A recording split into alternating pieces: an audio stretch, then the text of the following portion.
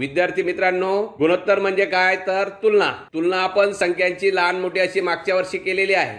आता आपण इथे खंडू आणि त्याची बहीण आरती यांच्या उंचीची तुलना करूया. आरती तुझी उंची मोज? एकशे साठ सेंटीमीटर.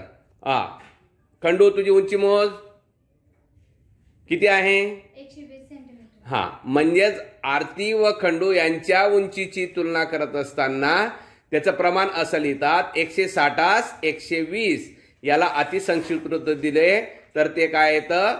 चारास तीन. असे करतात.